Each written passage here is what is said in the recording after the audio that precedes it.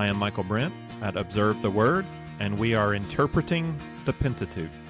Our text is the book of Deuteronomy.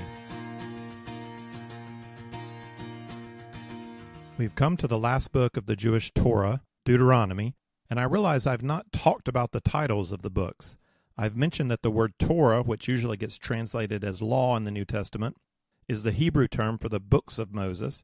Though it's more than law in the narrow sense of do's and don'ts, it's law in the broader sense of covenant and instruction. We also have been using the term Pentateuch for Torah. Penta means five in Greek, as in pentagon, and tukos is the word for scroll, so Pentateuch simply means five scroll work. The English titles for the books of the Pentateuch come from the Greek Septuagint. These titles were probably given around 250 BC when the Torah portion of the Septuagint was translated from the Hebrew text by Jewish scholars into a Greek version. And these Greek titles are a little more descriptive than the Hebrew titles. The Hebrew names for the book stick very close to the text, using the first significant word of each book as a title. The book of Genesis in the Hebrew is simply titled with a word that means in the beginning. The book of Exodus is titled Names. The book of Leviticus is titled Called. The book of Numbers is titled In the Desert. And Deuteronomy is titled Words. And the titles don't make sense until you look at the first few words of each book, and then you see that the title is simply the first significant word that occurs. And in a sense, they're not really titles, they're references to the initial words of the text. English takes its titles from the more descriptive Greek titles. Genesis comes from the Greek word for creation. Exodus in Greek means the way out. Leviticus means having to do with the duties of the Levites. Numbers is the one book where the Greek didn't stick. Instead of the Greek word for numbers, arithmoi, which you can hear sounds like arithmetic, English scholars went with the English word numbers instead. And finally, we have Deuteronomy, which is literally translated second law, but probably means repeated law. So, what is Deuteronomy? How ought we think about this final book of Moses? Does the title help or is it misleading? Second law or repeated law are not bad titles for this fifth book of Moses if we understand what that means from our study of the book itself. It's good to recognize that we have some repetition of the law code given from the previous books, particularly from Exodus at Mount Sinai. And it's good to recognize that this law code is being given to the second generation of Israelites out of Egypt. It's a second giving of law. But we need to define more precisely the relationship between the first law given at Mount Sinai and the second law code given on the plains of Moses. How did these two codes or covenants relate to one another? I'm going to start our interpretation of Deuteronomy where I usually start. I'm starting with the structure of the book. Traditional scholarship recognizes in Deuteronomy a series of speeches by Moses. The Bible Project video overview on Deuteronomy, which you can check out on YouTube or at observetheword.com, takes this approach, calling Deuteronomy one long speech by Moses to the people of Israel. Recent scholarship has also suggested that interpreters consider the presence of suzerain vassal covenant features in Deuteronomy, and we have to take into account the presence of chiasm in Deuteronomy. We're going to consider all three literary approaches, taking three passes through the entire book starting with the speeches of Moses. For each approach to the structure of Deuteronomy, I'll give you one scholarly resource. Gleason Archer, in his book A Survey of Old Testament Introduction, published in 1996, outlines Deuteronomy in six parts according to the traditional speeches approach. The first three sections are called the first, second, and third discourse of Moses. The last three sections are the Song of Moses, the final charge and farewell, and the death of Moses. I'll include the outline in the notes at observetheword.com if you want to check out where the breaks are in the text. Recognizing that Deuteronomy is delivered in a series of speeches from Moses directed to the second generation of Israelites out of Egypt helps us get a feel for the book. The voice of the book is technically third person narrative. A narrator tells us in chapter 1 5 Across the Jordan in the land of Moab, Moses undertook to expound this law, saying, that's third person. The author, Moses himself in this case, is speaking about Moses, telling us what Moses said. But not much of Deuteronomy is narration. The narration leads quickly into sections where Moses is speaking, giving us a series of really long quotes. In those quotes, which make up most of the book, Moses is speaking in first person directly to the Israelites. So here's an example of how this works in 1 5 through 6. Moses undertook to expound this law, saying, The Lord our God spoke to us at Horeb, saying, You have stayed long enough at this mountain. Turn and set your journey, and go to the hill country of the Amorites. Those words of Moses start in verse 6. That's where he begins to say, The Lord our God spoke to us at Horeb. And they continue all the way to chapter 4, verse 40. And that's one long quote. There are five verses of narration at the beginning of chapter 1 before we get into the quote, and nine verses of narration at the end of chapter 4 after we finish the quote. But in between those few verses of narration, there are 147 verses of speech. In all of that text, Moses is speaking in the first person to the Israelites. He said, The Lord spoke to us. Or, for example, he says in 1 9, I spoke to you at that time. The I is Moses, and the you are the Israelites. Most of Deuteronomy is in this first person voice of Moses speaking to the people. The second discourse is even longer and with less narration. After chapter 4, Moses resumes speaking in chapter 5, verse 1, and just the first half of the first verse is narration. Then Moses summoned all Israel and said to them, Hear, O Israel, the statutes and the ordinances which I am speaking today in your hearing, that you may learn them and observe them carefully. This speech continues for 22 chapters without stopping.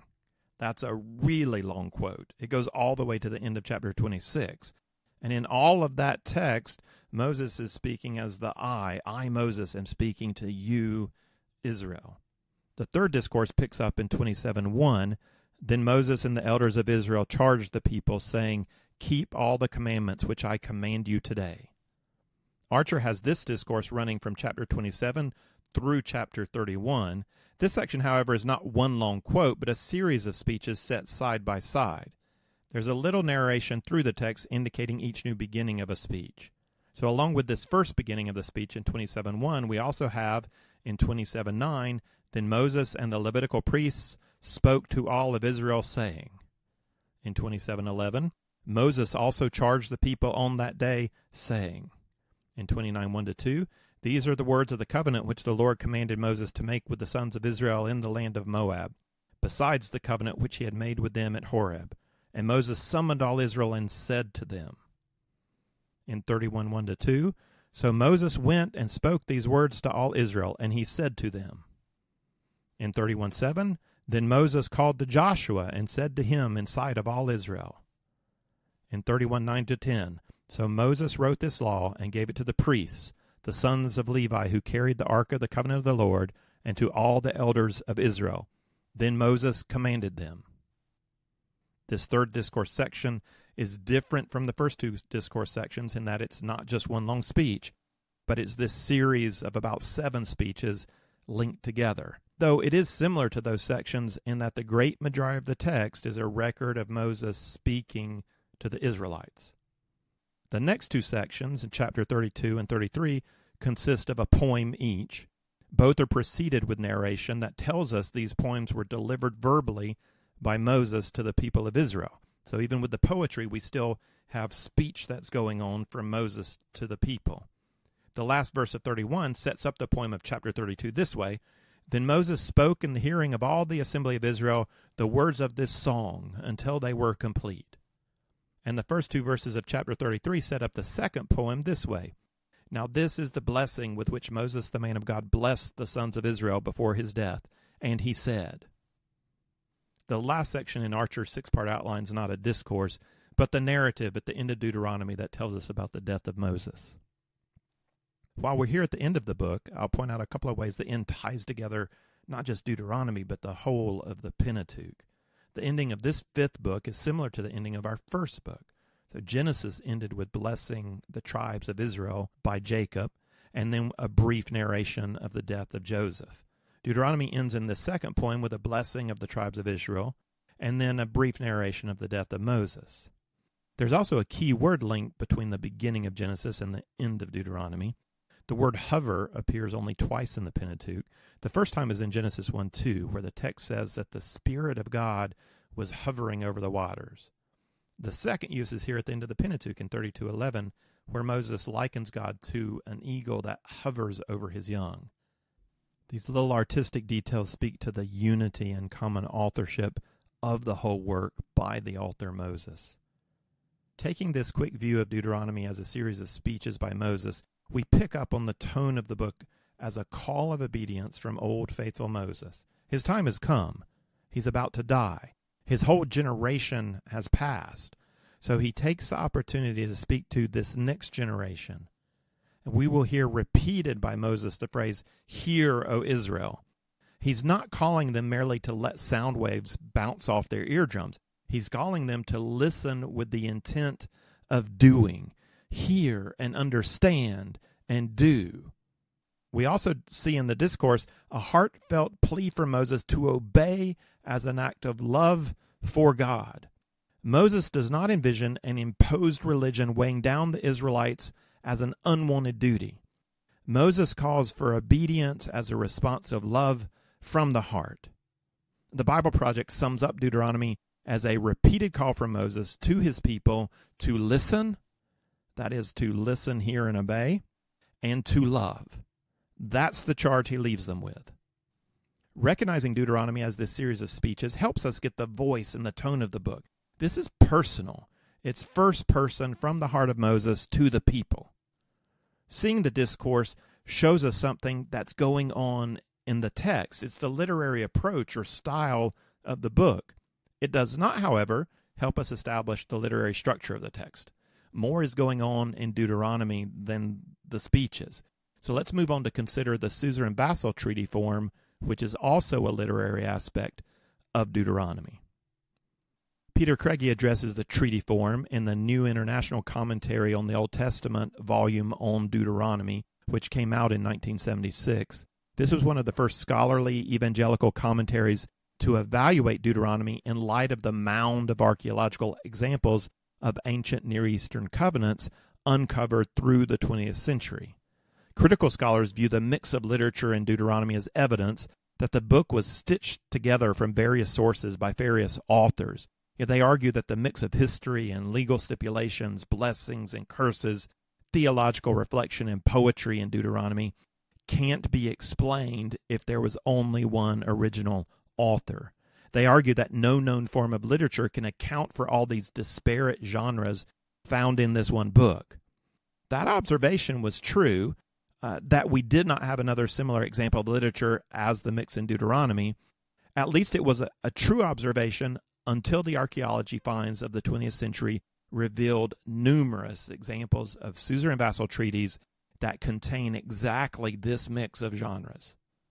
Not only does the treaty form affirm what believers of biblical authority already accept, that Deuteronomy is a unified literary work from Moses, but more importantly, the form helps us to better interpret the text we have in Deuteronomy by helping us understand the function of the different parts and how those different parts relate to one another.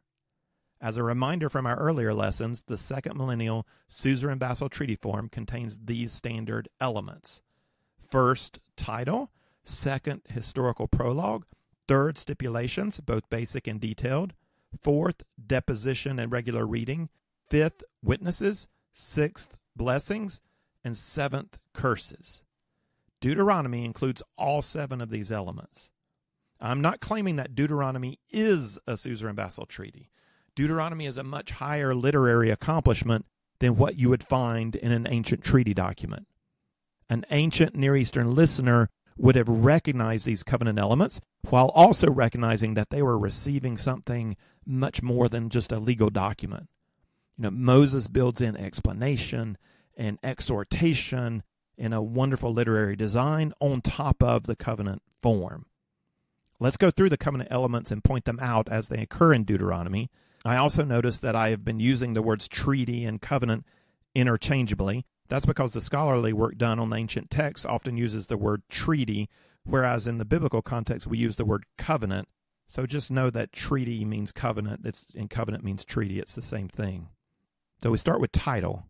Ancient covenants started with a title through which the suzerain or great king declared how he was to be addressed, extolling himself with magnificent characteristics and claims of authority. The lack of a title at the beginning of Deuteronomy is a reminder that we're not dealing with a strict legal document.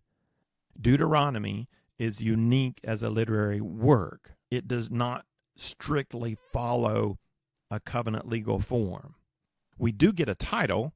We get it both at the beginning of the historical prologue and at the beginning of the basic stipulations. Moses doesn't provide a grandiose title, though it is grand. He simply states in 1 6, The Lord our God spoke to us at Horeb.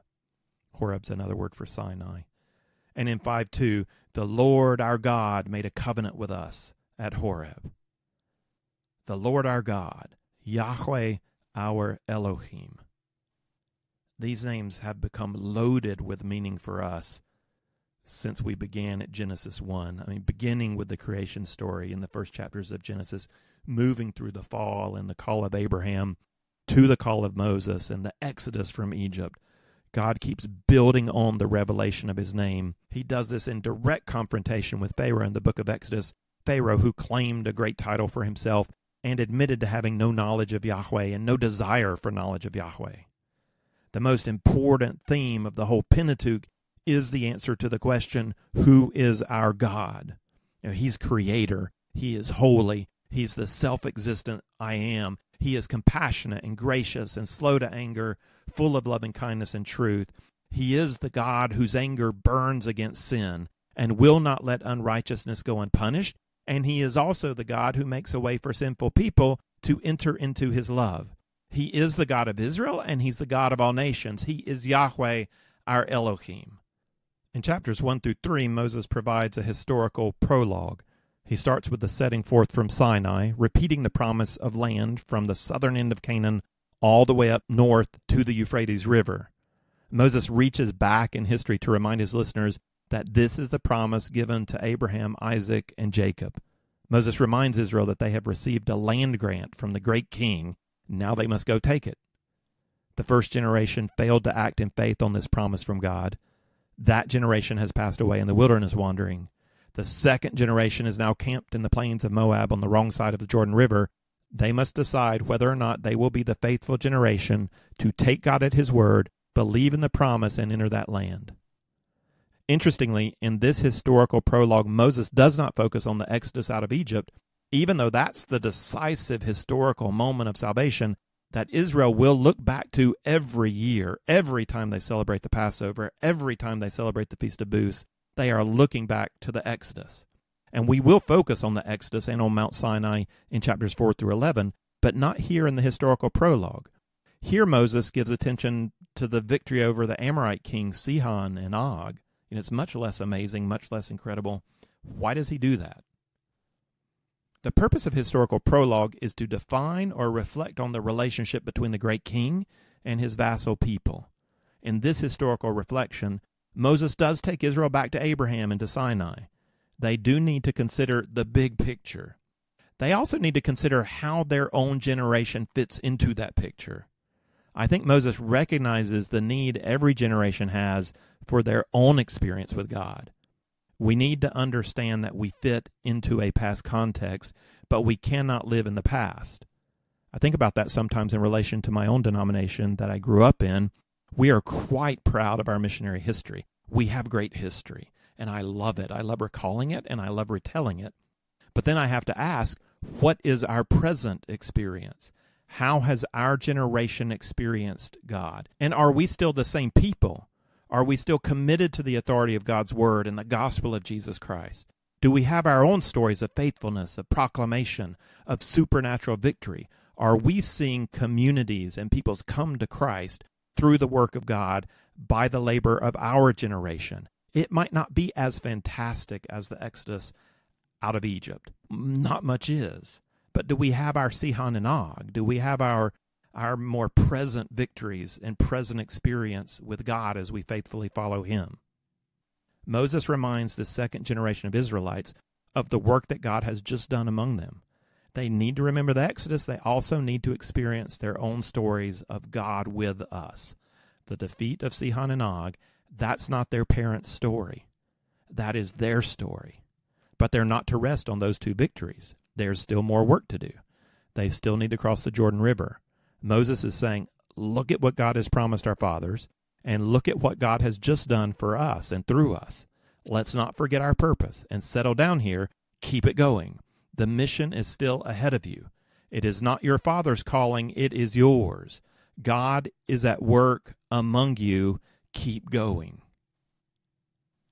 This historical prologue connects the present generation of Israel to the bigger historical story going back hundreds of years to the promises of Abraham, while also reminding them of their own recent personal history with God.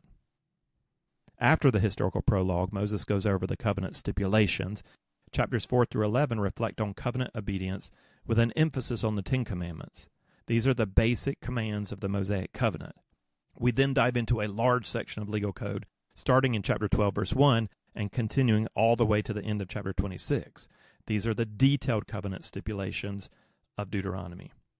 All right, where are we? So far, we've covered the first three elements of suzerain vassal treaty form in correct order the title, the historical prologue, and the stipulations. The remaining elements are also there, they're just not in order. So after the list of detailed stipulations, we have a list of covenant curses in 27:15 to 26, followed by a list of covenant blessings in 28:3 to 14. We'll consider these more closely later. For now, we recognize that the giving of specific blessings and curses follows the covenant form that the Israelites would expect. A specific command for regular reading is given in 3110. At the end of every seven years, at the time of the year of remission of debts, at the feast of booths, when all Israel comes to appear before the Lord your God, at the place where he will choose, you shall read this law in front of all of Israel in their hearing. This does not mean to imply that the Israelites are only to read Deuteronomy once every seven years.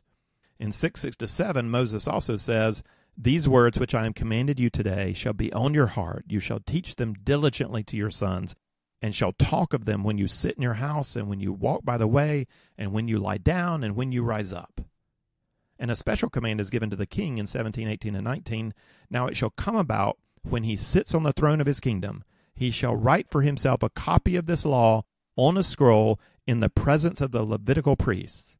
It shall be with him, and he shall read it all the days of his life that he may learn to fear the Lord his God by carefully observing all the words of this law and these statutes. In the most fundamental building block of society, the family, parents are to read the Torah, to know the Torah, and to teach it to their children. Also, at the highest level of society, the king is to write out for himself a copy of the law. This is not the work of a scribe. He doesn't get to uh, farm it out. He's supposed to do it himself. He is to have his own personally written out scroll, and it's to be written with the oversight or witness of the Levitical priest to ensure the integrity of the written word. The king is to know this law, to read it, so that he can observe it all the days of his life. So the commanded reading of once every seven years is not the way the people learn the words of Torah. That begins in the home and is a commitment of every level of leader from parent to king. The communal reading of the law is a ceremonial affirmation by the whole community of the centrality of this law to all of our belief and all of the order in our society. Moses also commands the deposition of the law in 3126, saying, Take this book of the law and place it beside the ark of the covenant of the Lord your God, that it may remain there as a witness against you. Apparently, the original scrolls of Torah were not kept inside the Ark of the Covenant, but beside the Ark of the Covenant. The stone tablets containing the the stone tablets containing the Ten Commandments were kept in the Ark as representative of the whole covenant. The scrolls kept by the Ark of the Covenant in the Holy of Holies would not have been the only copies. For instance, we've already read the king was to make his own copy to have in his possession so that he could read and study and obey. Now, we've not seen a call to witnesses in any of our major covenants so far, from Adam to Noah to Abraham to Moses at Sinai. And we do not expect to see a call to witnesses in the Bible like we see in other ancient covenants because those witnesses were always a myriad of gods and goddesses called to witness to the covenant between king and vassal. The one true God is his own witness. There are no gods and goddesses to call. So it's interesting here in Deuteronomy that God goes ahead and fills out anyway all the elements of the expected covenant form by calling witnesses. We just read that the words of the law are themselves a witness, but heaven and earth are also symbolically called as witnesses. We see this in 3019. I call heaven and earth to witness against you today that I have set before you life and death, the blessing and the curse. So choose life in order that you may live, you and your descendants, by loving the Lord your God, by obeying his voice, and by holding fast to him. The call of witnesses is repeated at the beginning of the poem in 32 1. Give ear, O heavens, and let me speak, and let the earth hear the words of my mouth. So we see that God, through Moses, intentionally included all the elements of an ancient Near Eastern suzerain vassal treaty form in the book of Deuteronomy. Recognition of the form helps us to understand various literary elements that make up Deuteronomy the structure of the book, however, does not follow a treaty form. So we haven't yet figured out our structure. It's not based on the discourses, it's not based on the treaty form. So let's move on to one more literary feature of the book chiasm. Duane Christensen addresses in depth the chiastic structure of Deuteronomy in the Word Biblical Commentary of Deuteronomy, published in 2002 recognizing a five part chiastic structure has enabled me personally to really get my hands around this complex book. And we've talked about chiasm a lot through this series, but I'll repeat the definition for anyone who may be jumping into these lessons right here at the beginning of Deuteronomy. Chiasm is one of the parallel structures loved by the writers of both Old and New Testament. Western education heavily focuses on linear outlines. We do everything in order. Westerners are taught to structure everything as one, two, three, four with linear subheadings. So we might have 1A, 1B, 1C, 2A, 2B, 3, 4A, 4B, 4C, so on. Everything moves in a straight line. This is not true for a lot of non Western peoples, and it certainly wasn't true of the writers of Bible. In a chiastic structure, the first element parallels the last element, the second element parallels the second to last element, the third element parallels the third to last element, and so on, sometimes with a central element that's not paired, but not always. John F. Kennedy left us with a famous chiasm. It's very simple. Ask not what your country can do for you, ask what you can do for your country. So the pattern is your country, you, you, your country. So your country is paralleled on the outside frames at the beginning and the end, and you is the parallel on the inside frames. How does this pattern work as an overall structure of Deuteronomy? As we've already stated, one of the things you notice when you're reading through Deuteronomy is a movement from one type of literature to another. When you start reading Deuteronomy, you're reading historical narrative. But then in chapter 4, the reading gets more difficult. It's not narrative anymore. You've just moved into theological exhortation. It's like the difference when listening to a preacher when he moves from giving theological explanation to telling a supporting story or illustration. The story's a lot easier to listen to and to follow. We love stories. We follow narrative naturally. It seems like our brains are wired for it. But theological explanation is harder to get our minds around, it's harder to follow. We notice another big change after the theological exhortation.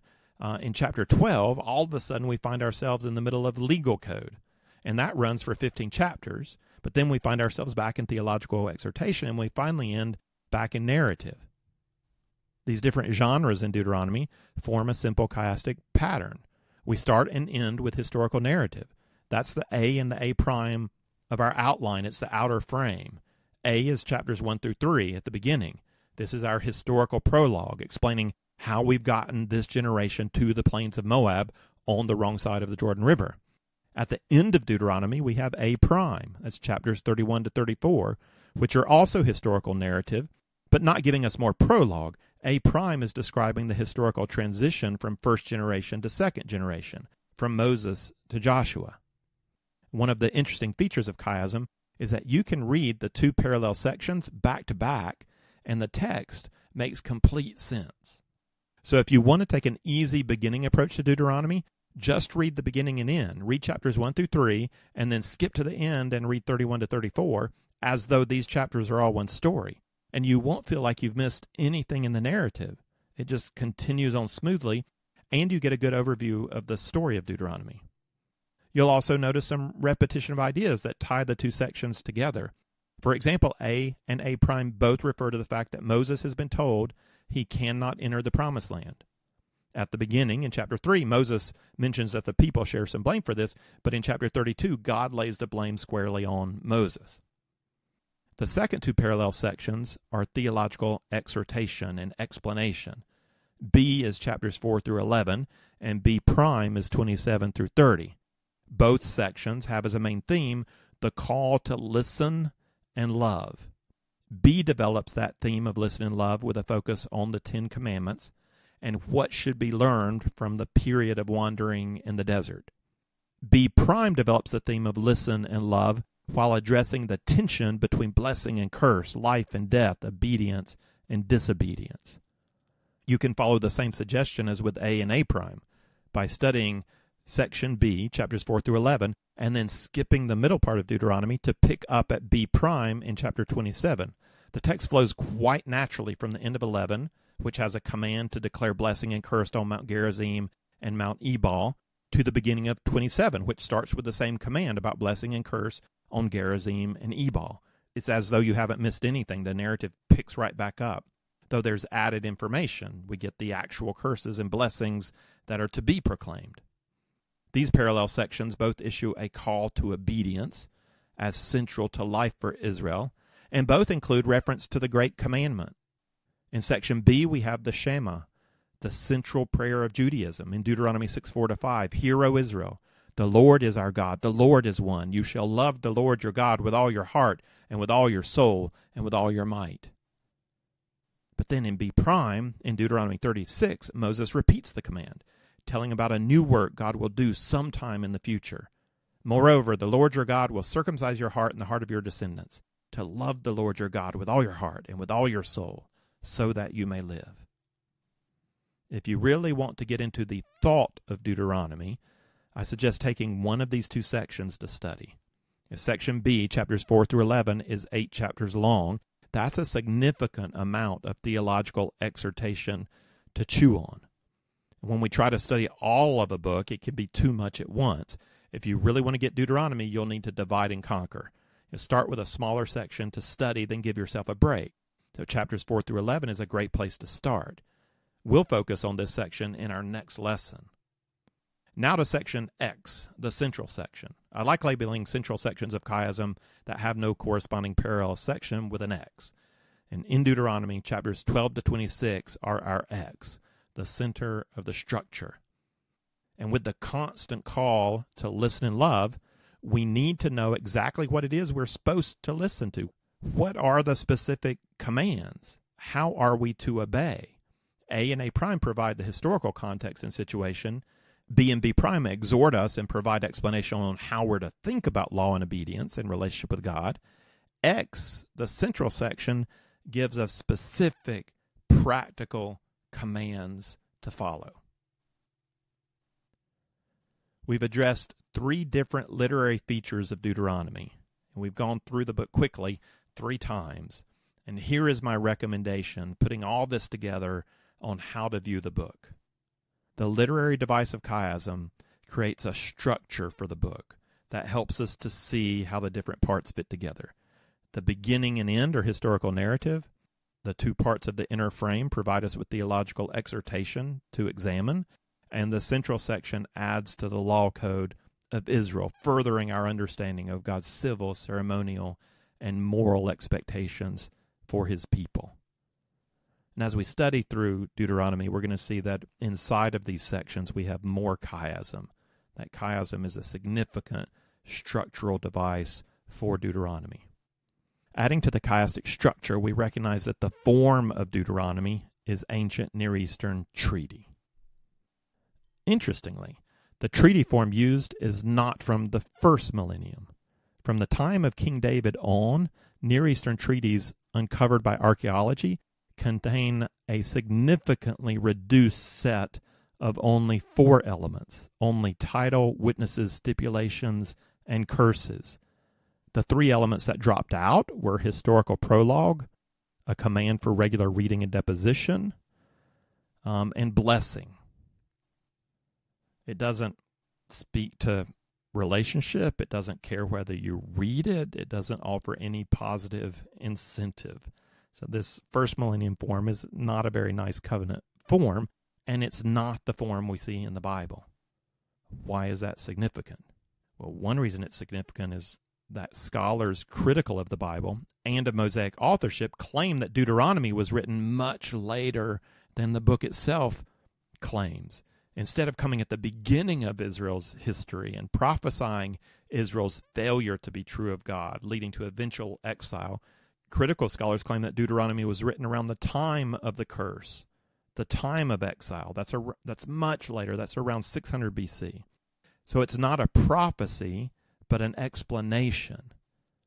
If all this critical scholarship, which argues this really late date of Deuteronomy, is true, then the authors of Deuteronomy accomplished an amazing feat of historical fiction by writing Deuteronomy according to a form that had not been in use for hundreds of years.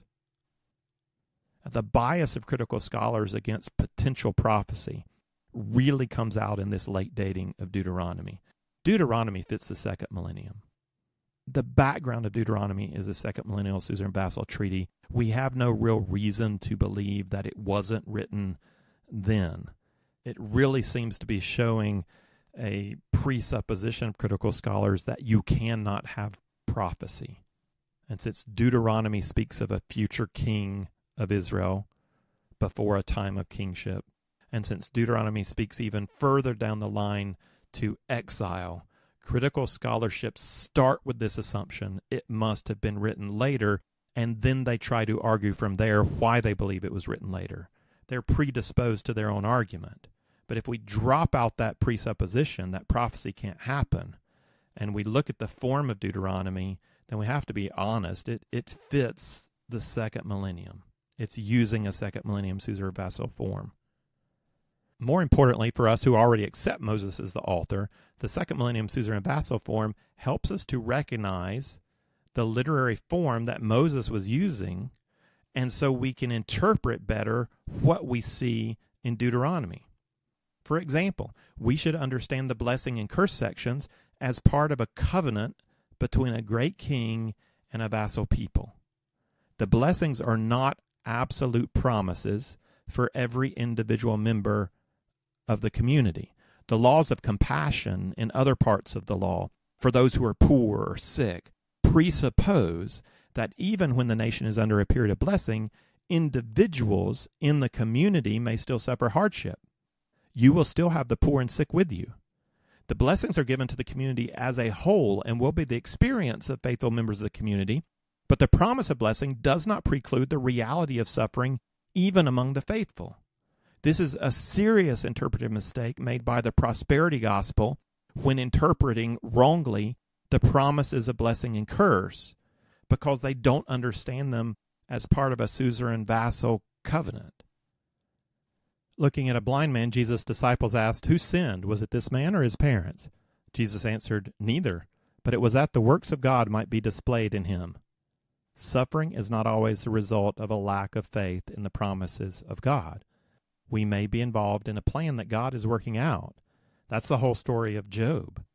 Blessing and curse are not strict formulas applied to faith and obedience, but the promise of God for the whole community in light of ongoing covenant obedience or disobedience. This is just one example of how we need to understand these elements of covenant in their own covenant context in order to rightly interpret them. You know, recognizing that Deuteronomy is describing the making of a covenant also challenges us to consider how this covenant relates to the covenant cut at Mount Sinai.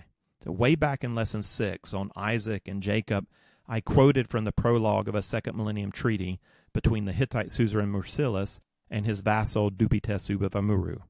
Duppi-Teshub's father had died, and so the great king Mursilis invited the new vassal king, Duppi-Teshub, to renew covenant. Back in that lesson, I taught that we should view the covenant of Isaac and Jacob as renewal of the covenant with Abraham. Since then, I've read a distinction made by my seminary professor, Dr. Niehaus.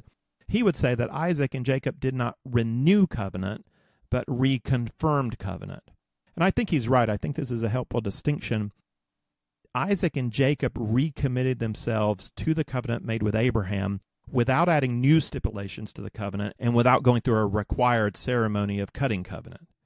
Dr. Niehaus points out two covenant renewal ceremonies in Scripture.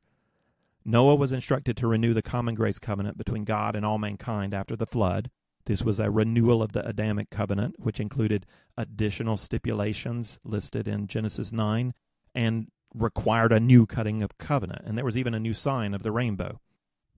The second example of covenant renewal in the Bible is here in Deuteronomy.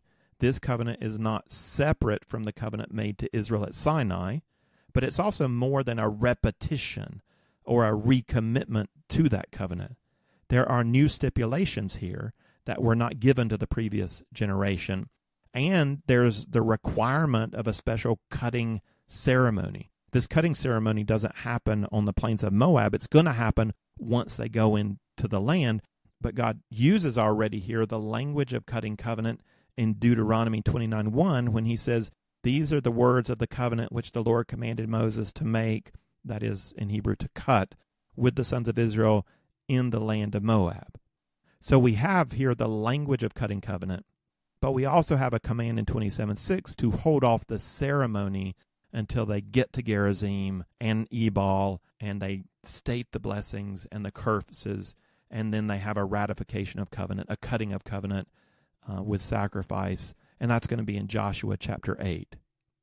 Considering the relationship between this covenant and covenant at Sinai gets us back to our consideration of the title of Deuteronomy.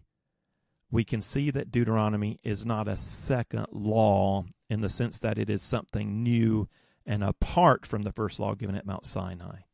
It's also not merely a repeated law, it's not a repetition of the law of Sinai. There's new information here and a new ceremony required. Each successive generation will need to be challenged to recommit to the Mosaic covenant.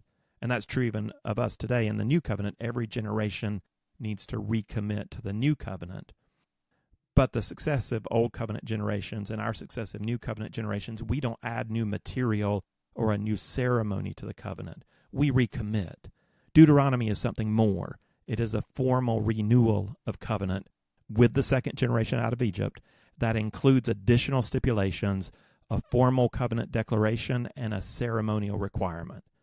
This renewal of covenant becomes part of the legal package. So, together with the covenant at Sinai, we have the Mosaic covenant. It's added into and becomes an essential part of Torah, which in the whole is the covenant of Moses.